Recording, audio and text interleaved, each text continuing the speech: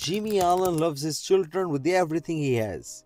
In fact, the Best Shot singer expressed gratitude for his six children, including twins, whom he welcomed with another lady after he divorced from Alexis Gale.